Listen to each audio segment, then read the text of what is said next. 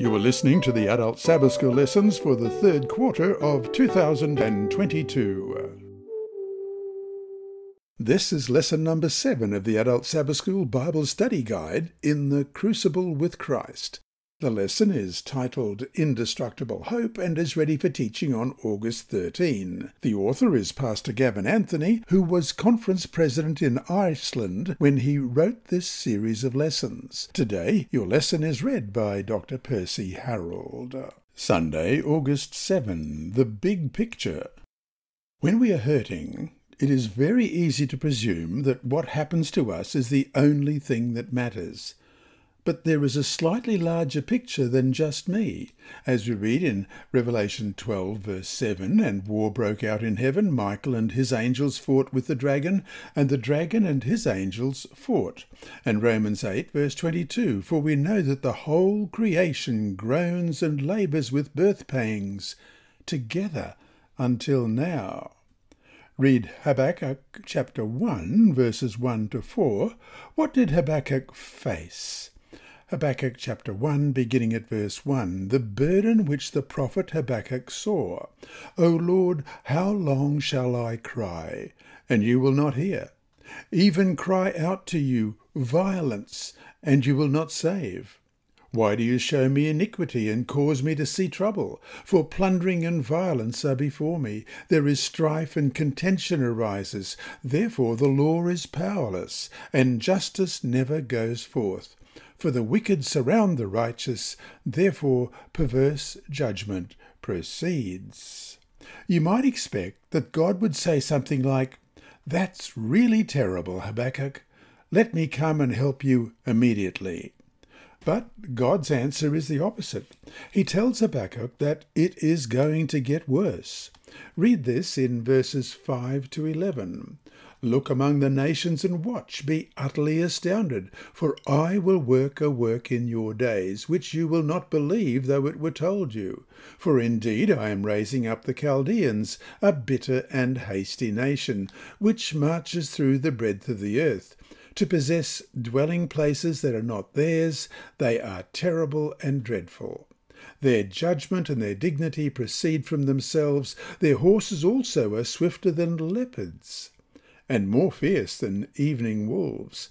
Their chargers charge ahead, their cavalry comes from afar. They fly as the eagle that hastens to eat. They all come for violence. Their faces are set like the east wind. They gather captives like sand. They scoff at kings, and princes are scorned by them.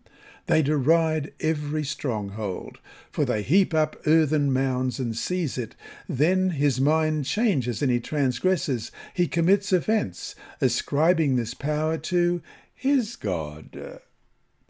Israel had been taken into captivity by the Assyrians, but God promises that worse is coming. The Babylonians will now carry away the people of Judah.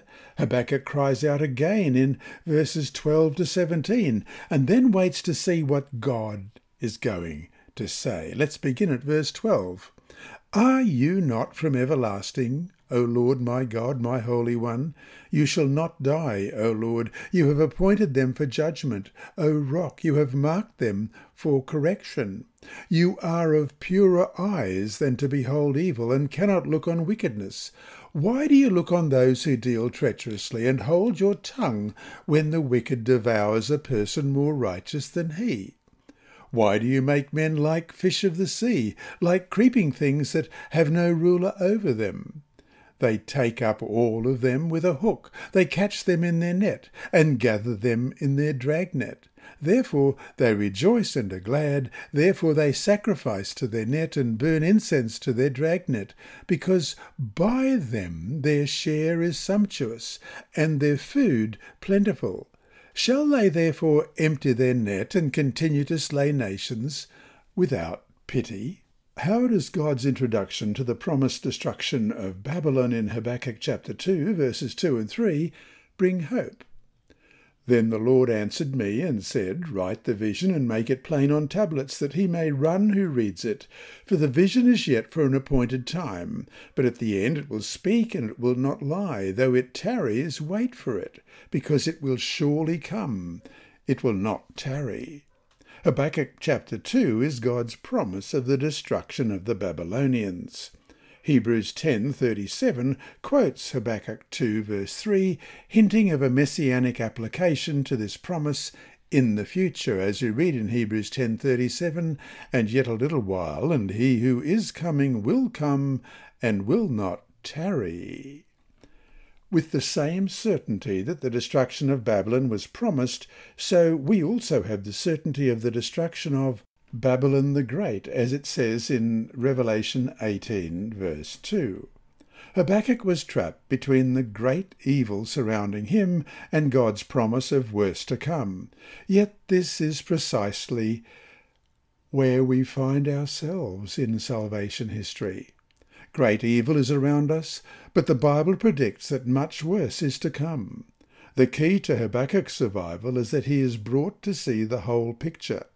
Therefore, in chapter 3, he is able to pray an incredible prayer of praise because of what God will do in the future.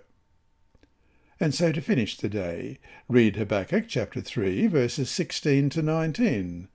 What does Habakkuk identify as his reasons for hope?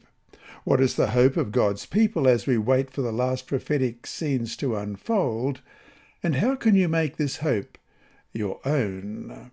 Habakkuk chapter 3, beginning at verse 16. When I heard, my body trembled, my lips quivered at the voice. Rottenness entered my bones, and I trembled in myself, that I might rest in the day of trouble. When he comes to the people, he will invade them with his troops. Though the fig tree may not blossom, nor fruit be on the vines, though the labour of the olive may fail, and the fields yield no food, though the flock may be cut off from the fold, and there be no herd in the stalls, yet I will rejoice in the Lord, I will joy in the God of my salvation. The Lord God is my strength. He will make my feet like deer's feet, and he will make me walk on my high hills to the chief musician with my stringed instruments. This lesson was read by Dr. Percy Harrold for Christian Services for the Blind. Sponsored by the Sabbath School Department and distributed through Hope Channel Australia, this podcast is also redistributed by Hope Channel Germany, Christian Record Services for the Blind. It is also available on SoundCloud and through multiple podcast distributors, including Apple iTunes. And you can listen and watch at the same time on YouTube. Remember, God is always faithful.